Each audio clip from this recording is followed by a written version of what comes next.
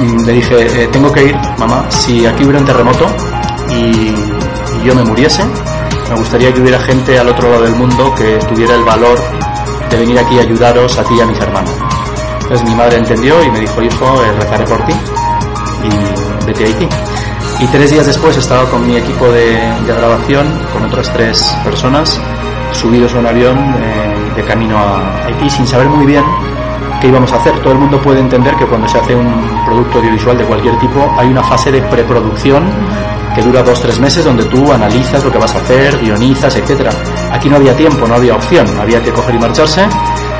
Llegamos a, a Santo Domingo porque no se podía llegar directamente a Haití en avión. En Santo Domingo alquilamos una furgoneta y la llenamos de comida, de agua, de incluso un motor de gasolina, porque en Haití no había nada, no había electricidad, no había nada para poder cargar las baterías de las cámaras. Y con ese equipaje nos marchamos para, para Haití, ¿no? Y evidentemente una vez estar allí, yo en el avión miré por la ventana, en el avión estamos más cerca de Dios, lógicamente, porque estamos a 10 kilómetros de altura, ¿no? Y Si yo miré, si es que está el cielo arriba, ¿no? Yo miré por la ventana y le dije, le dije, tú sabrás, o sea, aquí estamos, eh, tú sabrás, ayúdame, ¿no? Para, para conseguir que realmente el trabajo que hagamos sea útil y que, y que sirva.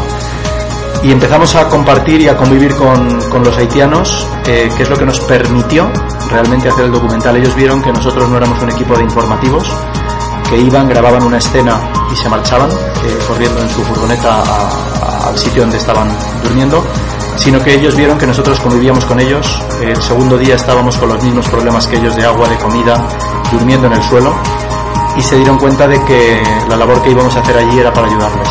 Y la experiencia, lógicamente a nivel humano, fue increíble de ver miles de personas que te están pidiendo ayuda a la vez. Y tú no tener la capacidad, porque aunque quisieras, solo tenemos dos manos. Y la verdad es que fue, fue tremendo. La llegada.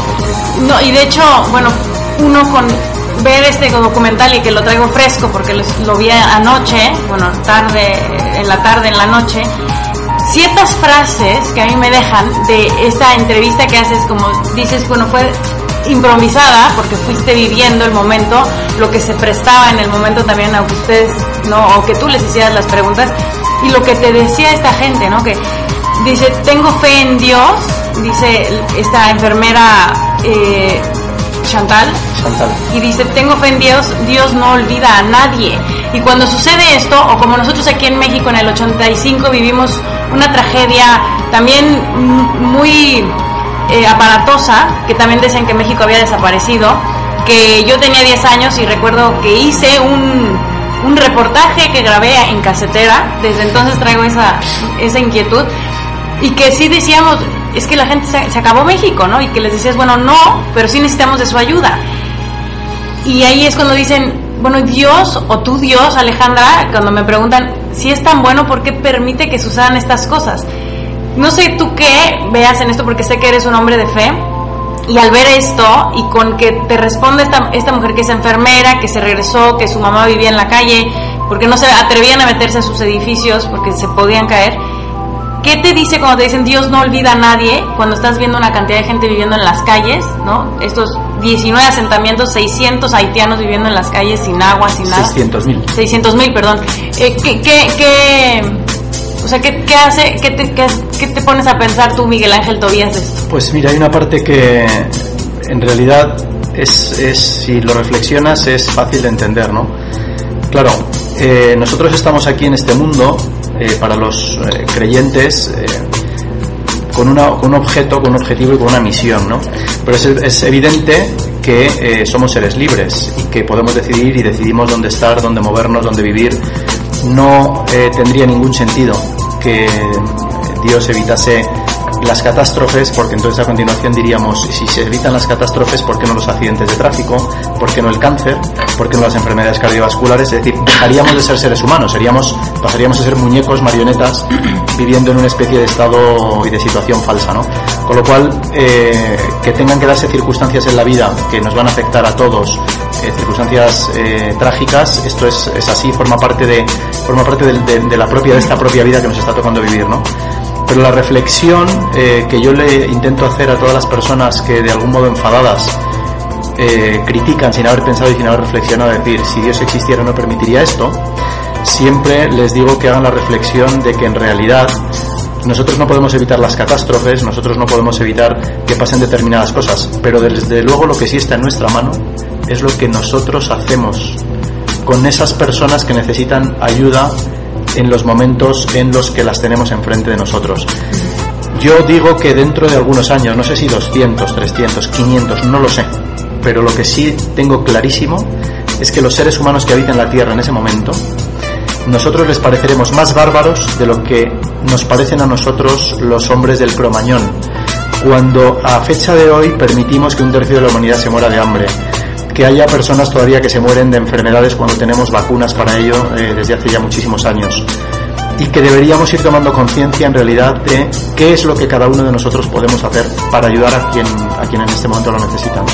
Y es, es eh, brutal en una situación como la de Haití ver cómo suele ser así, desgraciadamente, que las personas que menos tienen son al final las que más solidaridad presentan y las que más ayudan, en vez de ponerse justamente a criticar ni a otros, ni siquiera a Dios.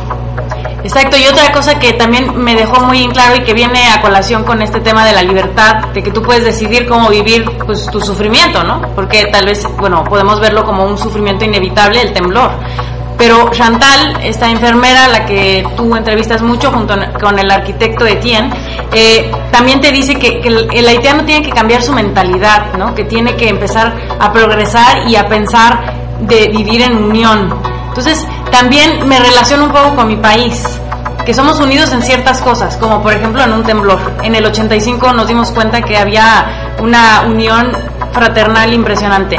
Pero sin embargo, con en cuestión de las elecciones que acaban de pasar en, México, eh, en cuestión política, en cuestión de estos temas que es de poder, básicamente, no hay unión, ¿no? Y también el progreso en el que decides, bueno, pues no educar, que se dice que ha hecho eso nuestro país, no educar a la gente para que estén tranquilos y no se, no se suban, ¿no? Y que puedan seguir haciendo sus cosas.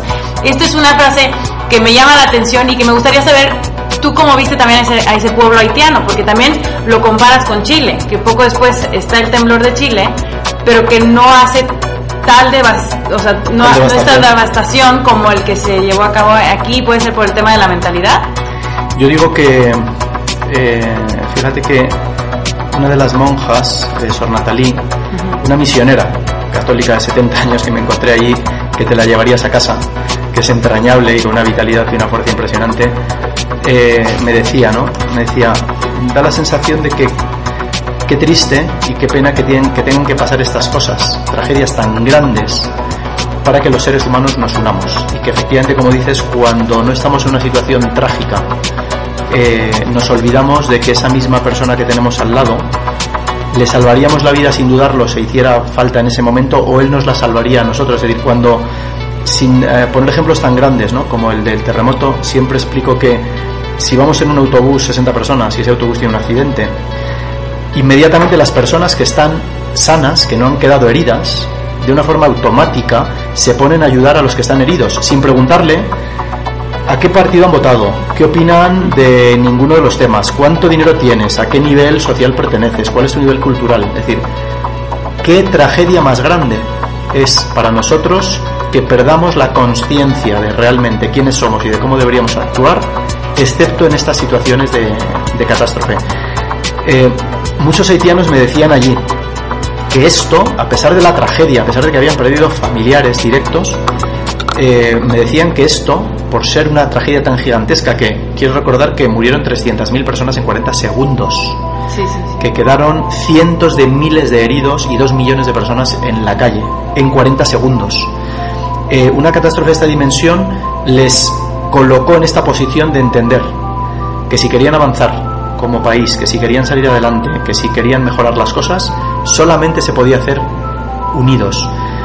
Eh, no es un problema solamente de México, ¿no? sino también de otros países donde dices, ves que hay muchas desigualdades eh, entre, entre las clases sociales, donde dices, qué lástima que mm, se nos vaya pasando la vida y que si la vida no nos enfrenta a situaciones graves, no nos demos cuenta hasta que es tarde de que tendríamos que haber cambiado nuestra actitud y nuestra forma de actuar sobre las personas que por una razón puramente de, azar tienen menos eh, posibilidades que nosotros.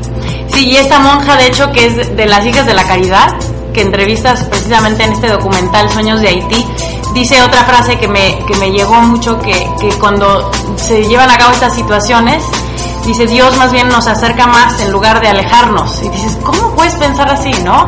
Podría ser alguien que está sufriendo ahí, pero en realidad sí, ¿no? Es cuando de repente dicen, no me ames tanto, ¿no? Cuando te pasan muchas cosas, dices, ya no me quieras tanto, ¿no? Entonces, este, es, es maravilloso y podemos encontrar en este documental eh, las tres virtudes teologales. Yo, yo soy maestra de, de, temas de teología, de filosofía, y está la fe, ¿no? La esperanza y la caridad.